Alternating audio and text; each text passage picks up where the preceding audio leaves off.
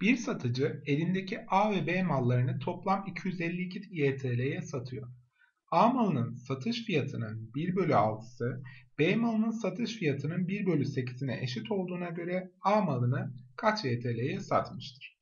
Bu ikisinin eşit olduğu şeyi biz bir örnekleyelim. Bir tuğla koyalım. Diğer tarafa da tuğla koyalım. Peki bu tuğla neymiş? A malının satış fiyatının 1 bölü 6'sına eşitmiş. Öyleyse A malında bu tuğladan hepsini eşit düşünürsek 3, 4, 5, 6 tuğla olsun.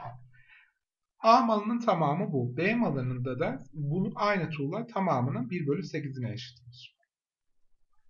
3, 4, 5, 6, 7, 8. Sağlıyor mu? Şimdi tekrar okuyalım. A, B. A'nın 1 bölü 6'sı B'nin 1 bölü 8'ine eşit. Doğru mu? Doğru. Ve ikisi toplam 252 YTL ediyormuş. Elimde toplamda böldüm yani bu kutulardan kaç tane var? 6 tane bu tarafta var. 8 tane de bu tarafta var. Toplam 14 kutu var. Bu 14 tane kutu 252 YTL'ye eşitmiş. Öyleyse bir kutu ne kadar eşit olur?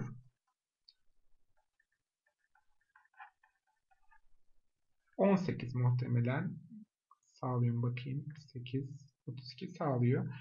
Bir tane kutu 18 TL'ye eşitmiş. YTL.